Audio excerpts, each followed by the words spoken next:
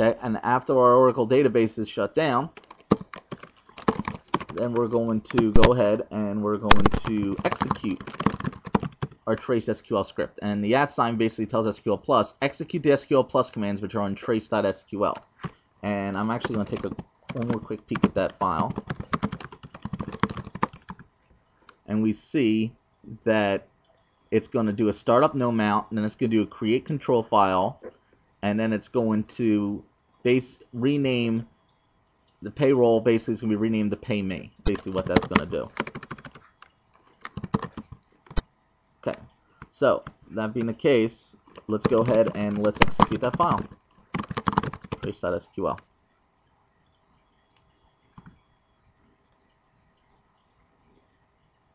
Oracle instance started because it does a startup no mount. The next thing you should see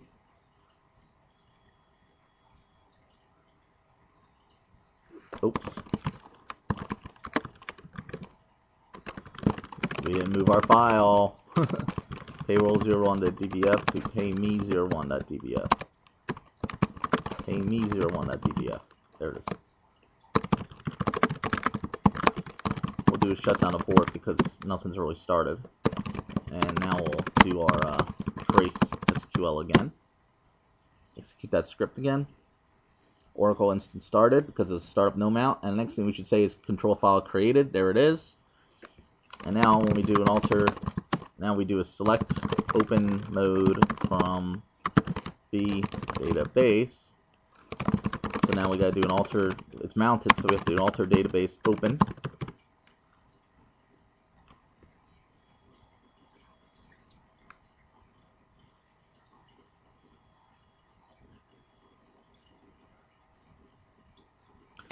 Now when we do select name from the dollar sign data file, we will see that we have renamed payroll back to pay me with this other method. And then we do select uh, table space name from DBA table spaces. We will see that pay me. And if we do a select, and let's, you know, while we're here, let's do a uh, alter table space pay me rename to um, payroll. I'm sorry. No, we don't want to do that because pay me is, we named it back to what it should be, pay me. And if we do is select table space name and file name from DBA data files where table space name is equal to pay me, we will see that it's the pay me table space and the data file is payme01.dbf.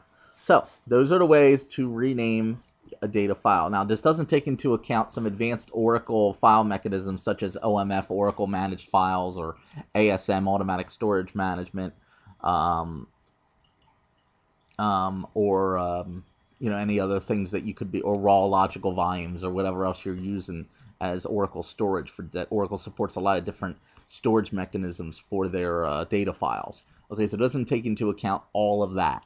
Okay, but this is just a way to um, these are the three ways that I showed you here to rename your data file. And of course, renaming the table space we did as the first thing in the, in the video series here. Okay, so that's how you do it, and I will see you in the next Oracle video.